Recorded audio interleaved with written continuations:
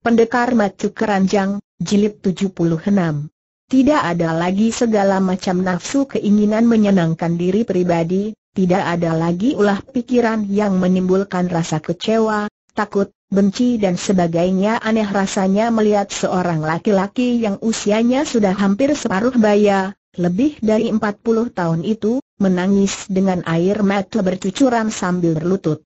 Apalagi kalau orang mengenal siapa dia.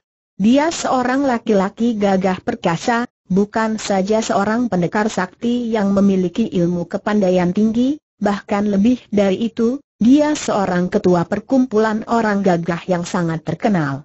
Dia adalah Chia Hui Song, ketua Chin Ling Pai, seorang pendekar yang memiliki ilmu kepandaian tinggi. Namun pada saat itu dia seperti seorang anak kecil, menangis mengguguk bercucuran air mata di depan kakek dan nenek itu. Manusia memang lemah, karena itu, sikap orang gagah ini sama sekali tidaklah aneh. Ilmu kepandaian tinggi tidak akan membebaskan manusia dari kelemahannya itu, perasaan iba diri yang amat besar, keakuan yang menebal. Hanya kesadaran dan pengertian saja menjadi langkah pertama ke arah kebebasan. Ada orang yang dapat menyembunyikan kelemahan ini melalui kekejaman, melalui kekerasan, namun tetap saja hal itu membuktikan akan kelemahannya. Duka menjadi makanan setiap orang, apabila dia belum mampu membebaskan diri dari belenggu keakuannya. Kakek dan nenek itu menghela napas panjang melihat mantu mereka berlutut di depan mereka sambil menangis dan minta ampun itu. Mereka hanya mengamati dan mendengarkan dengan sikap tenang. Kakek itu adalah Cheng Tianxin, si pendekar sadis, majikan Pulau Teratai Merah. Kakek yang berusia 65 tahun ini masih nampak gagah perkasa dan sikapnya tenang dan matang. Sedangkan nenek itu, yang usianya sama dengan suaminya, bernama Toan Kim Hong, dan pernah ketika masih gadis menjadi seorang datuk sesat yang berjuluk Lem Sin, Malaikat Selatan. Juga nenek ini masih nampak muda dan jelas masih kelihatan bekas kecantikannya, sikapnya tenang seperti suaminya. Harap ayah dan ibu mertua sudi memaafkan saya yang berani lancang datang menghadap. Sesungguhnya, sudah lama sekali saya menahan hati yang ingin sekali datang berkunjung, akan tetapi terus terang saja, saya tidak berani datang karena saya telah merasa bersalah terhadap putri ayah dan ibu. Baru setelah anak Chia Kui Hang datang berkunjung ke Chin Ling Pai, saya memaksakan diri untuk menghadap dan mengakui semua kesalahan yang telah saya lakukan terhadap istri saya, Cheng Sui Chin, suami istri yang usianya sudah 60 tahun lebih itu tidak menjawab, melainkan saling pandang, lalu mereka menoleh kepada putri mereka. Sui Chin, wanita yang kini berusia hampir 40 tahun itu duduk sambil menundukkan mukanya yang menjadi merah dan ketika ia mengangkat muka ia memandang ke arah suaminya yang berlutut, kedua matanya menjadi basah, akan tetapi ia diam saja dan masih nampak kemarahan membayang pada sinar matanya. Hui Song, kami orang tua tidak ingin mencampuri urusan kalian suami istri, sungguh pun kami merasa ikut berduka dan prihatin sekali ketika anak kami pulang. Sekarang engkau telah datang setelah istrimu pulang selama tiga tahun lebih. Nah, Sebaiknya kalau kalian berdua membicarakan sendiri urusan itu dan kami sebagai orang tua hanya ingin melihat kalian dapat akur kembali sebagai suami istri. Sui Chin, ini suamimu datang, sudah sepatutnya kalau engkau menyambutnya dan segala urusan dapat kalian bicarakan dengan sebaiknya. Ajaklah suamimu masuk dan kalian bicaralah di dalam sana, kata Cheng Tianxin dengan suara halus. Ayahmu benar, Sui Chin, kata nenek itu. Tidak ada persoalan yang tidak dapat diatasi dengan musyawarah, dan tidak ada kesalahan yang tidak dapat dimaafkan. Ajaklah suamimu ini berunding dan atur sebaiknya bagaimana untuk menyelesaikan urusan di antara kalian itu, ayah dan ibu, aku ingin bicara dengan dia di sini saja, agar dapat disaksikan oleh ayah dan ibu kata Sui Chin dan nada suaranya keras, membayangkan keadaan hati yang sakit.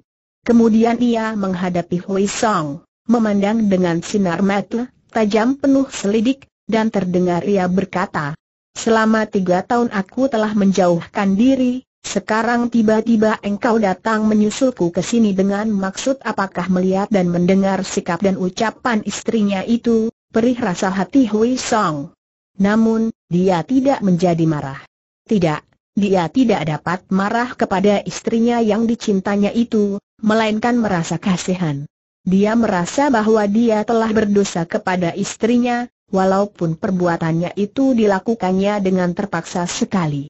Dan kini, setelah dia melihat sendiri penyesalan ayahnya karena keputusan ayahnya yang mengakibatkan terpisahnya dia dan istrinya, semenjak datangnya Kui Hang ke Chin Ling Pai, dia sengaja datang untuk meminta maaf, untuk mengajak istrinya kembali. Akan tetapi sikap istrinya itu membuat dia merasa gelisah dan ragu. Jangan-jangan istrinya tidak dapat memaafkannya, dan ajakannya untuk rujuk kembali bahkan akan membuat istrinya menjadi semakin marah. Betapapun juga, dia harus mencobanya.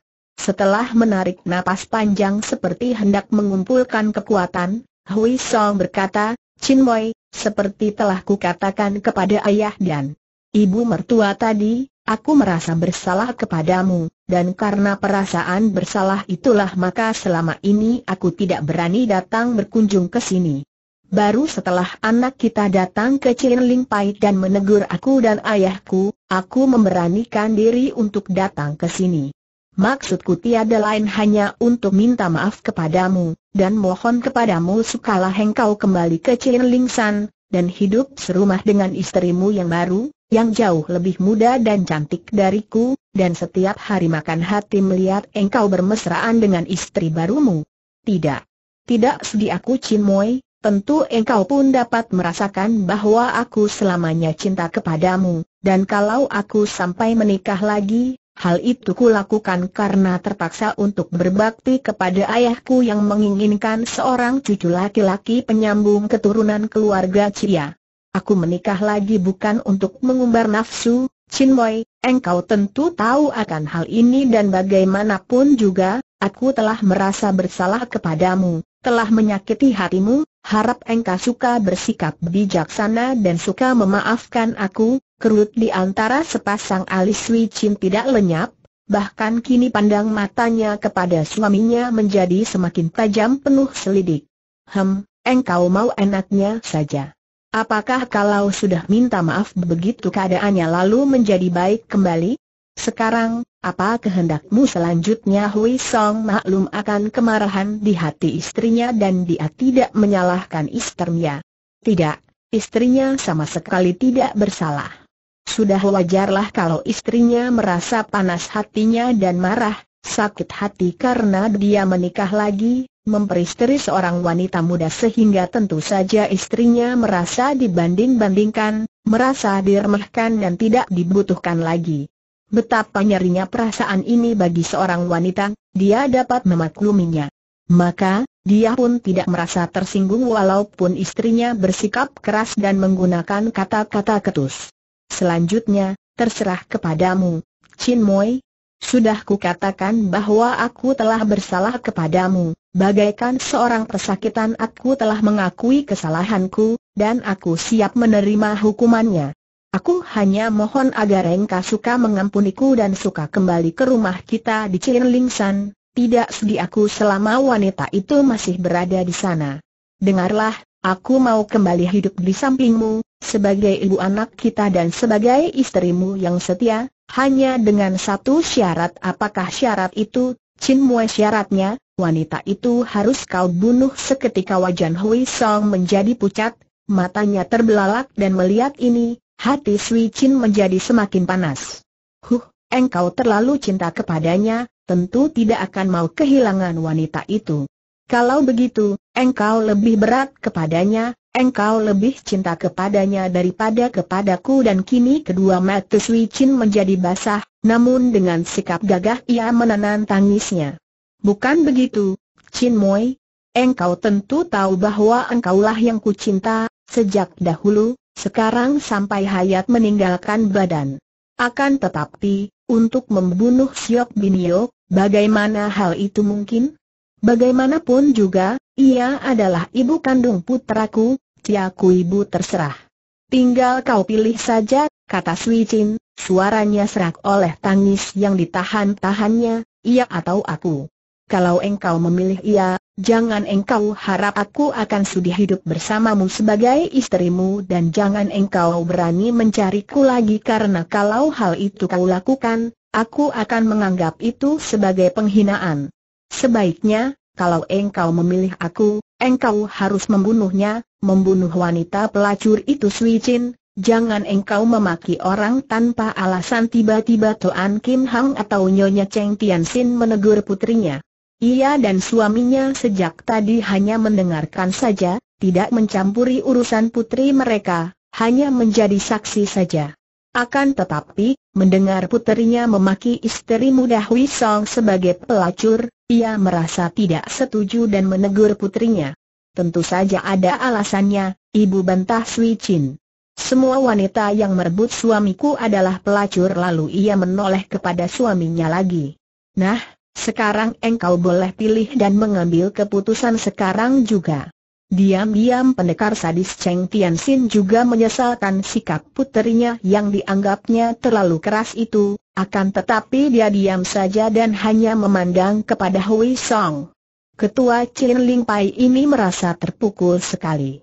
Tak disangkanya sama sekali bahwa istrinya akan bersikap sekaku dan sekeras itu. Dia menarik napas panjang. Bagaimanapun juga, dia sudah mengenal baik watak istrinya ini.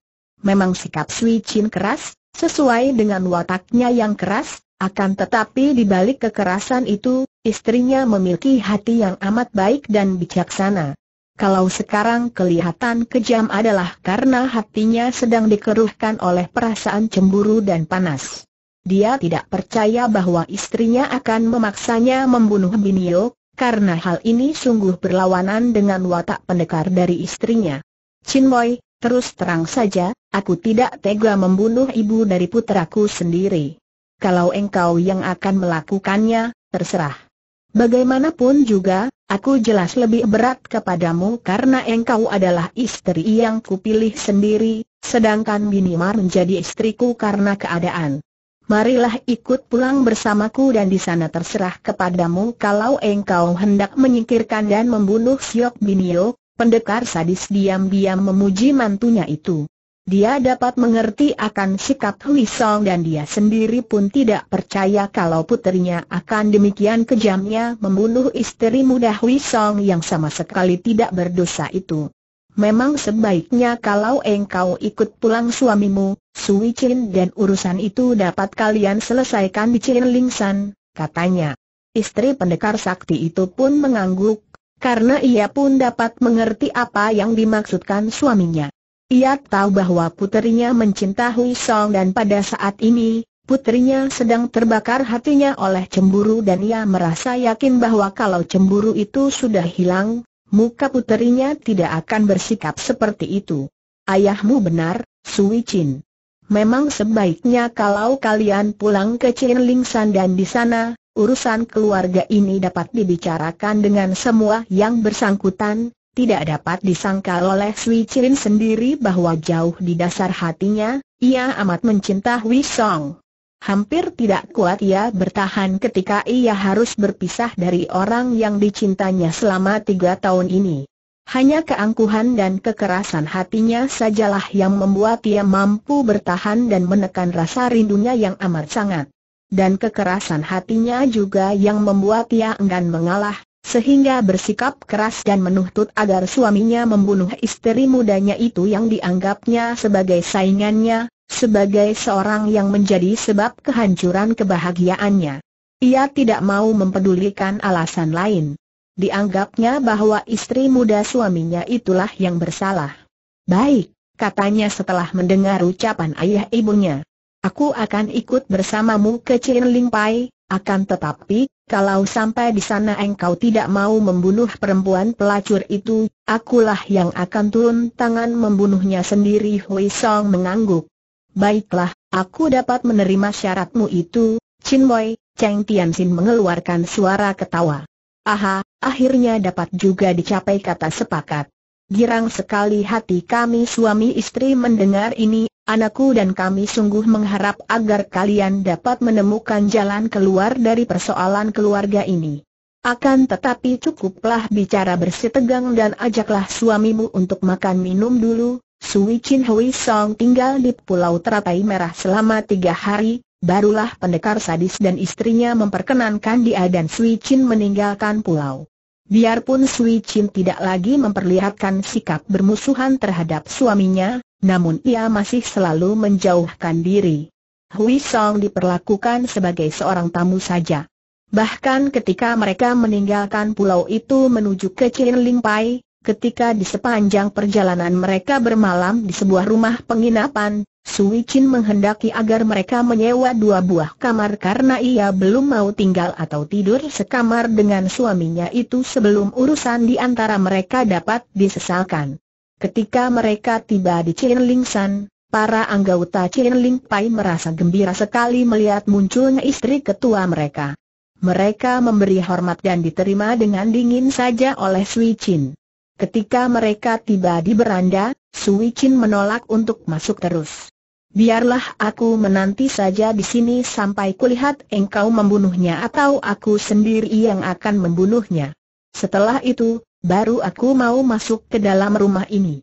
Hui Song tidak menjawab dan sampai beberapa lamanya dia memandang kepada istrinya, hatinya sedih bukan main. Tidak ada anggota Chen Ling Pai yang berani mengganggu mereka dan di beranda rumah itu sunyi. Ayahnya tentu sedang bersama di di dalam kamarnya sendiri, pikirnya. Dan istrinya, Binio, bersama putranya, tentu berada di dalam kamar atau di bagian belakang. Mereka semua belum tahu akan kedatangannya, dan tentu sama sekali tidak menyangka bahwa pulangnya bersama Sui Chin, istri pertamanya. Baiklah, aku akan menemui Binio, katanya dan dia meninggalkan Sui Chin masuk ke dalam rumah untuk mencari istri mudanya. Dia menemukan mereka berada di ruangan belakang.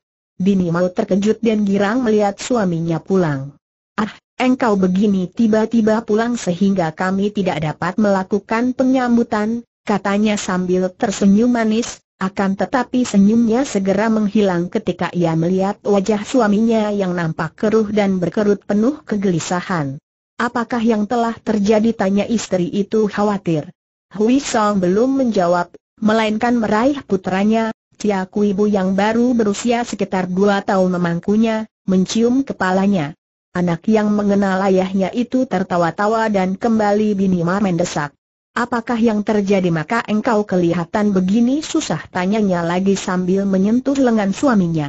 Biarpun wanita ini menjadi istri Hui Song atas kehendak orang tuanya, namun selama ini ia menemukan seorang suami yang amat baik dan bijaksana, dan Bini Mau telah jatuh cinta kepada suaminya sendiri yang jauh lebih tua darinya itu, setua ayahnya. Binio, Hui Song berkata, akan tetapi tidak mampu melanjutkan. Biarpun tadinya dia merasa yakin bahwa Sui Chin tidak mungkin akan melaksanakan tuntutan atau ancamannya, namun berhadapan dengan Binio dan membayangkan betapa nasib amat buruk menanti wanita ini, hatinya penuh rasa iba. Bini mau tidak bersalah apa pun, dan Chia Kui Bu juga tidak bersalah apa-apa. Mana mungkin dia harus membunuh Binio dan memisahkan Kuibu dari ibunya? Dosanya akan menjadi semakin besar kalau dia melakukan hal itu. Binio, ketahuilah bahwa istriku yang pertama kini ikut pulang bersamaku, ah, sungguh berita yang menggembirakan sekali. Saya harus segera keluar menyambut. Di mana ia Binima menggendong putranya dan nampak gembira. Melihat ini, Hui Song menarik napas panjang. Nanti dulu, Binio. Justru karena inilah maka aku menjadi bingung. Cheng Sui Chin, istri yang pertama itu, ia, ia menuntut agar aku memilih salah satu. Memilih engkau atau memilih ia. Ia tidak mau dimadu, tidak mau kalau aku memiliki dua orang istri, sepasang matu itu terbelalak dan mukanya menjadi sepucat kertas ketika ia menatap wajah suaminya. Beberapa saat lamanya ia seperti kehilangan akal saking kagetnya mendengar ucapan suaminya itu. Kemudian, dengan suara lirih ia bertanya, Kalau, kalau memilih aku kalau aku memilih engkau, ia tidak sudi kembali ke sini, tidak mau lagi hidup di sampingku sebagai istriku, ah, tidak mungkin kau lakukan hal itu Bini mau berseru kaget. Tentu saja tidak mungkin. Engkau tahu bahwa ia adalah istriku, dan pernah kukatakan kepadamu bahwa ia istriku yang kucinta, dan kami telah mempunyai seorang anak perempuan yang kucinta pula. Engkau sudah melihat Kui Hang ketika ia datang berkunjung, seorang gadis yang hebat. Dan kalau engkau memilih istrimu yang pertama Bini Mar mendesak. Hui Song menarik napas panjang, tidak mampu menjawab, tidak sampai hati untuk menceritakan bahwa Sui Chin menghendaki dia membunuh Binio. Melihat keraguan suaminya, Bini Mar mendekap anaknya dan berkata sambil menangis aku tahu. Aku yang harus pergi dari sini. Ah, memang sudah sepatutnya begitu. Aku hanya istri kedua, dan sudah tentu engkau lebih berat kepada istrimu pertama baiklah, aku akan pergi, akan kubawa ku ibu pergi, tidak mungkin tiba-tiba Hui Song berseru keras mengejutkan Binio yang belum pernah selama menjadi istri ketua Chin Ling Pai itu mendengar suaminya membentak kepadanya, engkau tidak boleh membawa pergi ku ibu. Dia adalah putra tunggalku, satu-satunya penyambung keturunan keluarga Cia. Engkau tidak boleh membawanya sepasang mata bini makini terbelalak lebar penuh kegelisahan dan putranya didekap di dadanya dekapannya kuat sekali sehingga anak yang baru berusia dua tahun lebih itu menangis. Agaknya dia dapat merasakan kegelisahan hati ibunya. Kau, kau hendak memisahkah aku dari anakku? Ahaha tidak, jangan. Biar ku bawa dia pergi, aku tidak minta apa-apa darimu, tidak menuntut apa pun. Aku akan pergi tanpa membawa apa pun, tapi, jangan minta aku pergi meninggalkannya di sini. Ah, jangan, lebih baik kau bunuh saja aku, dan wanita itu menangis sesenggukan sambil mendekap dan menciumi puteranya yang juga ikut menangis. Melihat keadaan ibu dan anak itu, Hui Song lalu berlari keluar. Inilah saatnya yang tepat untuk mempertemukan Sui Chin dengan mereka, pikirnya. Dia melihat Sui Chin masih duduk di serambi depan. Chin Boy, marilah. Siok Binio dan anaknya sudah menantimu di dalam. Mari kita temui mereka Sui Chin mengerutkan alisnya, akan tetapi ia menurut dan mengikuti suaminya memasuki rumah itu, rumah di mana kurang lebih 16 tahun menjadi tempat tinggalnya, di mana selama 16 tahun ia hidup berbahagia dengan suaminya. Mereka mendapatkan Bini Mar masih menciumi puteranya sambil menangis di ruangan dalam. Sui Chin memandang penuh perhatian. Hem, seorang perempuan yang masih muda sekali, paling banyak berusia 21 atau 2 tahun, sepantasnya menjadi kakak Kui Hong. Pantas menjadi anaknya, atau keponakannya dan anak laki-laki yang juga ikut menangis bersama ibunya itu, demikian mirip dengan Hui Song. Berkerut alis Sui Chin. Chin Moi, inilah Siok Binio dan anak kami, Tiaku Ibu. Aku sudah memberitahu kepadanya akan keputusanmu bahwa aku harus memilih antara engkau dan ia. Dan sudah kukatakan bahwa tentu saja aku berat kepadamu yang menjadi istriku sejak muda. Sekarang terserah kepadamu, ini ia dan anaknya, boleh kau putuskan sendiri, kata Hui Song. Wajahnya agak pucat dan hatinya terasa tegang sekali. Sementara itu, mendengar kedatangan dua orang itu, Bini Mar mencoba untuk menghentikan tangisnya dan mengangkat muka memandang kepada wanita cantik yang berdiri di depannya. Seorang wanita yang cantik dan berwibawa, nampak galak dan membuat ia merasa kecil sekali, kecil dan lemah. Engkau yang bernama Siok Binio Sui Chin bertanya, suaranya ketus.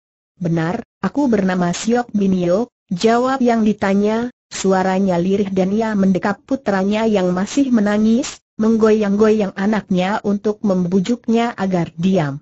Engkau sudah mendengar akan keputusanku. Suamiku minta agar suka kembali dan tinggal di sini. Aku mau kembali, dengan syarat bahwa dia harus membunuhmu.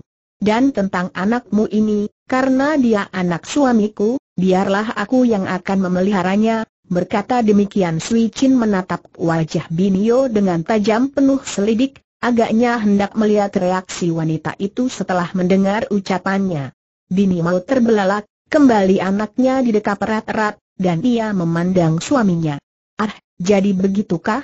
Suamiku, kalau memang kalian berkeras untuk memisahkan aku dari anakku, lebih baik cepat kau turun tangan dan bunuh aku. Lebih baik aku mati daripada harus berpisah dengan anakku, dan bunuh pula anakku ini. Aku akan membawanya ke mana saja, hidup atau mati harus bersama dia. Bunuhlah agar kalian dapat hidup berbahagia Bini mau berkata sambil menangis dan tak pernah melepaskan rangkulannya dari anaknya. Chin Boy, tak mungkin aku dapat membunuhnya. Tidak mungkin aku akan sekejam itu. Kalau engkau masih menghendaki untuk membunuhnya, nah, terserah kepadamu. Lakukanlah kalau memang kau ingin demikian Hui Song berada dalam keadaan tegang sekali. Dia tahu bahwa kalau sampai istrinya itu benar-benar turun tangan hendak membunuh Binio, dia tentu akan menentang dan mencegahnya, dan mungkin sekali dia akan memutuskan hubungan batinnya dengan Sui Chin, betapa besar pun cintanya terhadap Sui Chin. Dia akan menganggap perbuatan Sui Chin yang hendak membunuh Binio sebagai perbuatan terkutuk dan kejam sekali. Hui Song sama sekali tidak tahu atau menyangka bahwa kalau Sui Chin mengatakan bahwa dia harus membunuh Binio, hal itu pun hanya merupakan suatu ujian saja. Sui Chin hendak melihat apakah suaminya telah menjadi sedemikian palsunya, mudah mengorbankan seorang wanita demi tercapainya keinginannya. Dulu, suaminya mengorbankan dirinya, membiarkan ia pergi bersama Kui Hang karena suaminya hendak menikah lagi. Dan sekarang, karena suaminya menghendaki ia kembali, ia ingin melihat apakah suaminya mau mengorbankan Binio, bahkan mau membunuhnya. Tentu saja, Betapapun rasa cemburu dan panas hati menyesak dadanya ketika berhadapan dengan madunya, ia sebagai seorang pendekar tidak akan sudi menyerang, melukai apalagi membunuh seorang wanita lemah seperti Binio. Binio, karena suamiku memilih aku untuk kembali ke sini, maka aku minta agar engkau suka pergi dengan baik-baik dari rumah ini. Putramu harus ditinggal di sini, akan kupelihara, dan kami akan memberimu uang secukupnya agar engkau dapat berdagang, membuka toko, atau menikah lagi dengan seorang laki-laki yang muda dan sebaya denganmu, kata Sui Chin, suaranya tidak ketus lagi, bahkan agak lembut. Ucapan Sui Chin itu membuat Bini Mau terbelalak, wajahnya berubah pucat lalu merah sekali, tubuhnya menggigil dan ia pun mendekap anaknya, lalu bangkit berdiri. Tidak. Tidak aak. Siapa pun tidak boleh mengambil anakku. Biarkan aku pergi bersama anakku.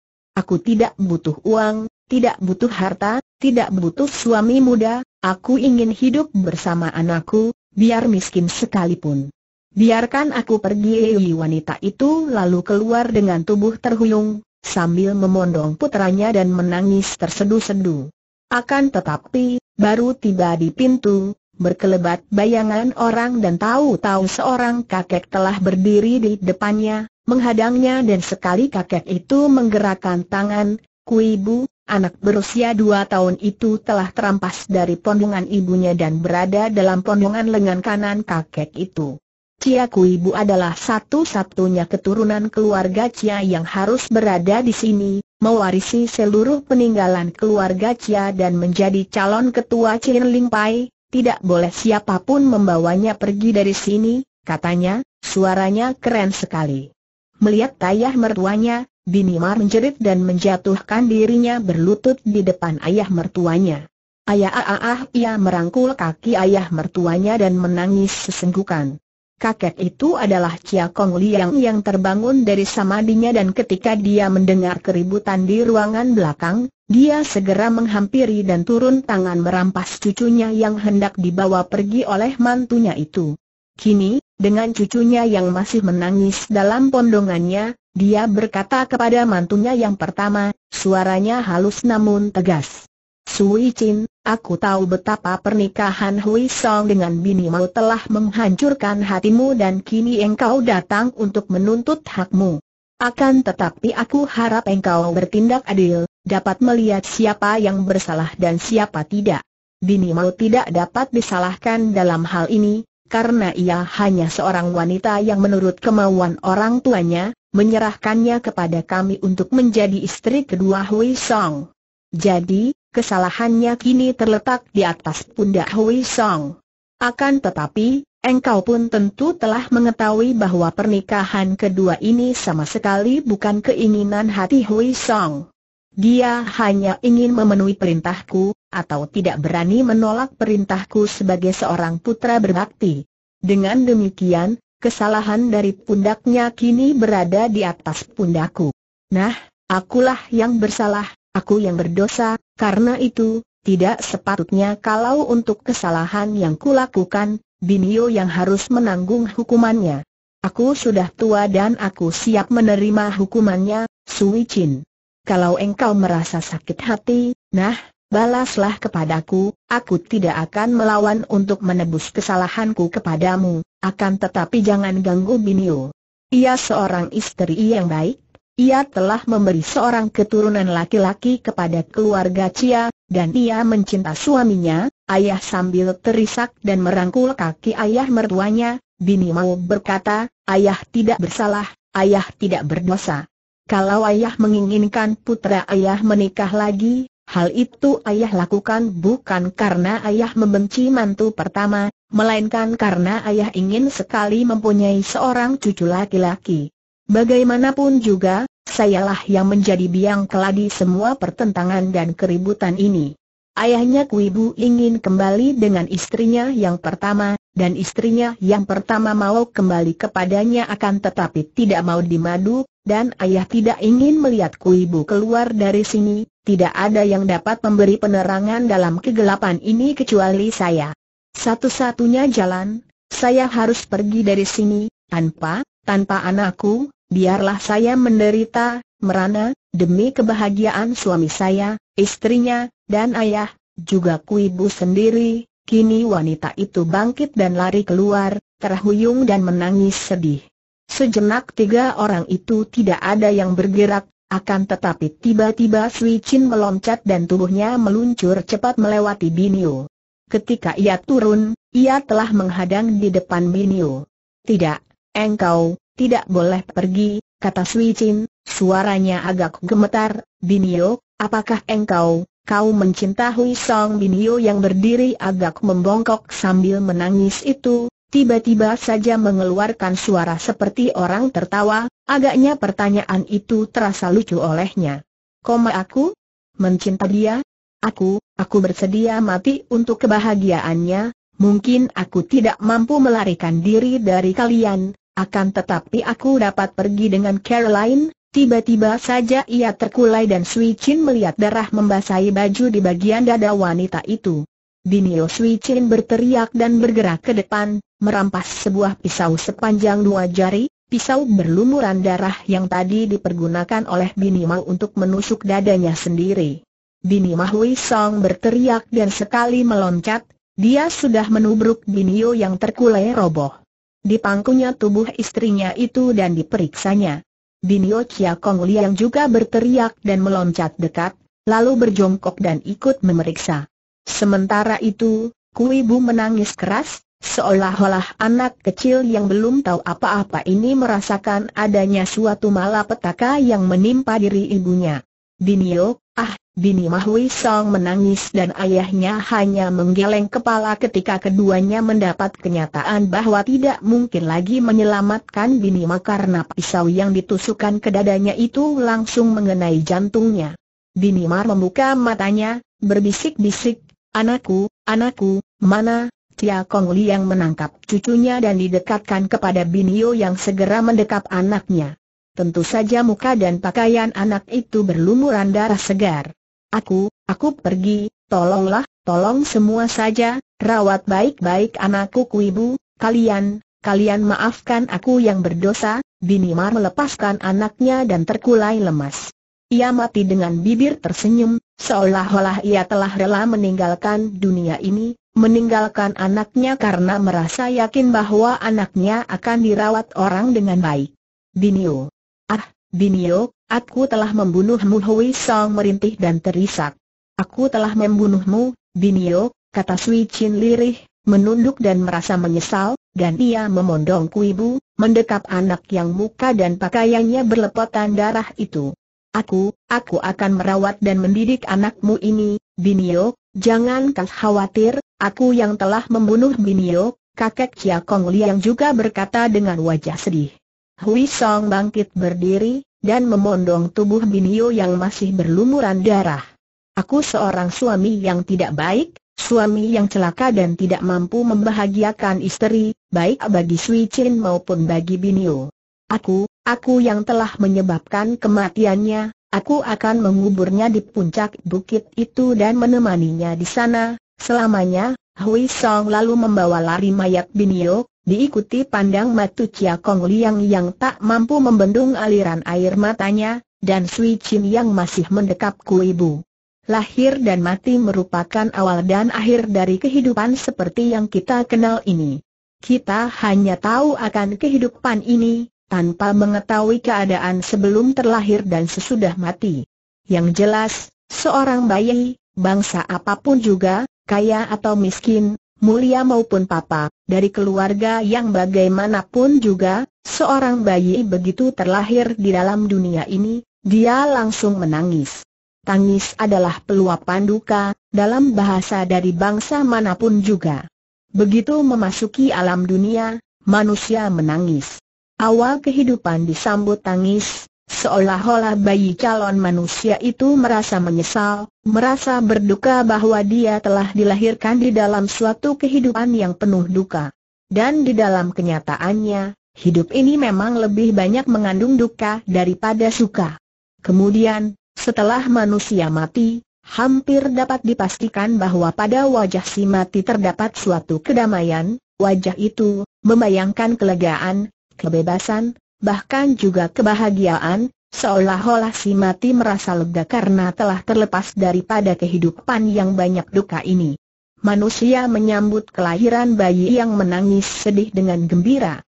Apakah ini menjadi tanda bahwa manusia merasa gembira melihat datangnya seorang rekan baru dalam kehidupan penuh derita ini, seperti sekumpulan orang dalam penjara menyambut datangnya seorang narapidana yang baru? Dan manusia mengantar kematian seseorang dengan tangis sedih walaupun wajah si mati nampak demikian penuh ketenangan dan kedamaian. Apakah ini pun menjadi tanda bahwa manusia merasa berduka melihat seseorang bebas sedangkan mereka sendiri masih berada di dalam kehidupan yang penuh derita, seperti sekumpulan orang dalam penjara yang melihat seorang rekannya dibebaskan sedangkan mereka masih harus mendekam di dalam penjara.